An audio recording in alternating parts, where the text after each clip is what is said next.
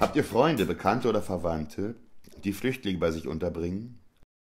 Würdet ihr Flüchtlinge bei euch zu Hause aufnehmen? Das ist doch nichts Besonderes, meint Michel Seiler. Auf seinem Berghof Sereneck will er Flüchtlinge aus Syrien bei sich aufnehmen. Kost, Logis und Fürsorge bekommen sie von Seiler. Dafür können sie gleich auf dem Hof mit anpacken. Als Gärtner oder Handwerker zum Beispiel. Zu tun gibt es immer genug und, das ist doch das Beste, wenn man gleich merkt, dass man hier gebraucht wird, findet Seiler und sagt weiter, man kann die Flüchtlinge nicht einfach wie Waren hier hereinlassen. Es sind Menschen, die hier ankommen.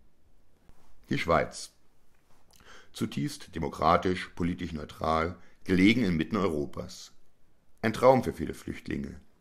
Seit dem Zweiten Weltkrieg sind mehr als zwei Millionen Menschen eingewandert oder leben als Seconds, als Kinder von Einwanderern in der Schweiz. Rund jeder Fünfte hat ausländische Wurzeln. Auf ihre humanitäre Tradition sind die Schweizer stolz. Als in Ex-Jugoslawien Krieg herrschte, nahm die Schweiz mehr als 80.000 Flüchtlinge auf.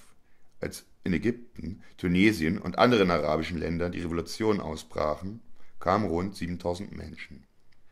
Seit in Syrien Bürgerkrieg herrscht, haben rund 3.000 Syrier in der Schweiz Asyl gesucht. Aber die Schweizer Gastfreundschaft hat Risse.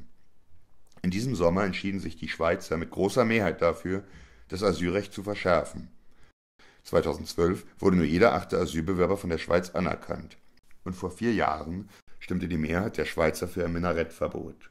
Die Schweiz ist ein kleines Land. Man sucht einen Konsens und die Politiker wollen es sich nicht mit den Bürgern verscherzen, sagt Stefan Frey von der Schweizerischen Flüchtlingshilfe.